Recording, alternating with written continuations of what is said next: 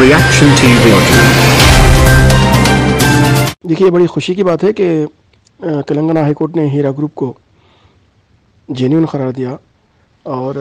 اگر کوئی ایویڈنس جو ہے پونزی اسکیم کے بارے میں جو ایویڈنس بولے گئے تھے، وہ جو ہے نا، تلنگانہ ہائی کورٹ میں وہ کیس ہار چکے ہیں۔ تو نوہرہ شیخ، جو کہ ایک بہترین بزنس انٹرپرینر تھی، ان کی ترقی اور ان کی جو ہے نا محنت کو چند حسدی سیاستدانوں نے برداشت نہیں کیا اور فیک ویڈیوز بنائے اور جو گندے اور گھٹیا قسم کے سو کال مسلم لیڈر کہلاتے، کھل کے میں یہ بات بولوں گا، اسد جو رکھتا ہے پوری قوم سے حسد،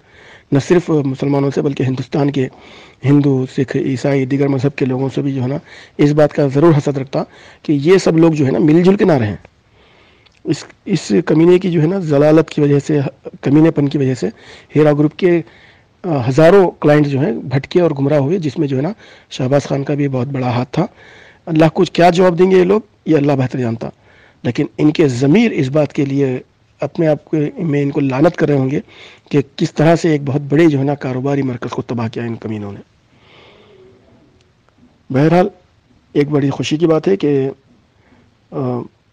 ہیرا گروپ کے حق میں اگر یہ چیز ہوئی ہے، لیکن جو بہت بڑا ڈیمیج ہیرا گروپ کے بزنس کو ان لوگوں نے کیا ہے وہ ایک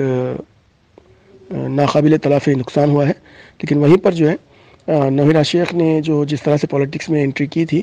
وومن امپاورمنٹ کے نام سے، اور کرناٹک میں جس طرح سے ایم کو بہت بڑا نقصان پہنچا تھا ان سے، تو اس کے بعد سے پولیٹیکل ونڈیٹا کے طور پر منلس انتشار المجرمین نے ان کو جو نقصان پہنچانے کی کوشش کی کاروائی کی،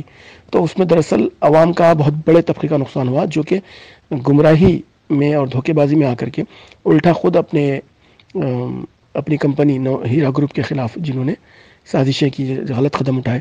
آج ان کا ساتھ دینے کے لیے ایم آئی ایم کسی بھی طرح سے فائنینشیل سپورٹ نہیں کرے گی، یہ بات ان کو بھی سمجھنا چاہیے۔ جنہوں نے اپنے خود کی کمپنی ہیرا گروپ کو تباہ کیا۔